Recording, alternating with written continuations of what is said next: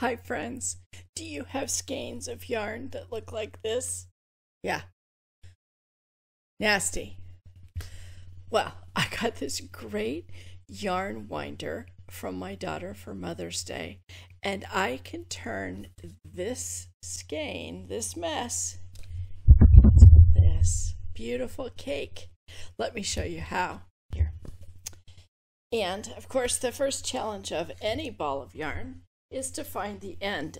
So often you get this, what I call a skein that likes to vomit out its guts um, and leave you with this clump of yarn that you're not ready to use all of yet. And it does these things like knots. But can you believe it? Uh, of, of the hundreds, possibly thousands of skeins, different skeins of yarn that I've worked with over the many, many years, I've never had a yarn winder. So this is how it works. You first of all, you're going to take the tail and go through this the threader. Can you see the threader?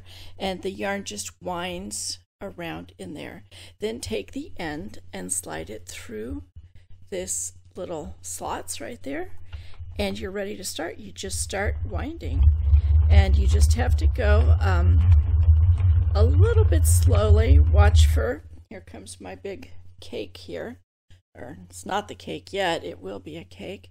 And once you get it caked, it won't knot again. It's and um, I've always just wound my yarn into balls, but that I find um, can put a lot of tension on the fibers in that yarn because it's just, and I like my um, yarn balls to be really neat and tidy, and so I tend to wind them probably over tightly. So this little uh, machine it's not even really a machine doesn't have any power except your own. You power it um, takes away that possibility so that you don't need to worry about winding it too tight. And, and then you can see here I've got a really nice little cake starting to form.